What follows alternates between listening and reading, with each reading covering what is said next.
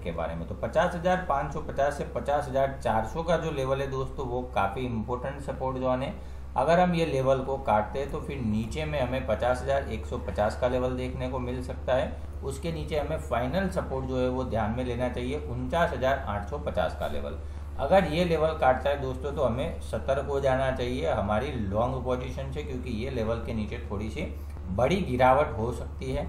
और थोड़ा सा ट्रेंड भी नेगेटिव जा सकता है। तो वो लेवल के नीचे जो है वो उनचास हज़ार पाँच सौ पचास से लेके उनचास हज़ार दो सौ पचास का जो लेवल है वो देखने को मिल सकता है। वो भी अगर काट देता है तो फिर अड़तालीस आठ सौ, अड़तालीस तीन सौ का लेवल भी आ सकता है अगले आने वाले समय के अंदर। तो हमें जो है वो थोड़ा सा सतर्क रहना है। पचास हज़ार का लेवल जो है वो टूटने दें बाद।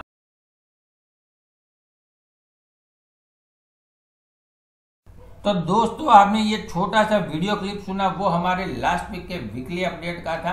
पूरा वीडियो का लिंक नीचे डिस्क्रिप्शन के अंदर दिया गया है। वो लिंक ओपन करके आप पूरा वीडियो देख सकते हो।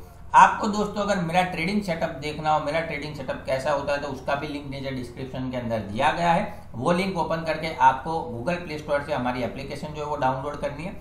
हमारी एप्लीकेशन के ऊपर आपको जो है वो स्टोर का ऑप्शन दिखेगा। वहाँ पर जो है वो पूरा मेरा ट्रेडिंग सेटअप का जो कोर्स है, वो रखा गया है दोस्तों। आप चाहो तो वहाँ पर लिंक ओपन करके पूरा ट्रेडिंग सेटअप देख सकते हो।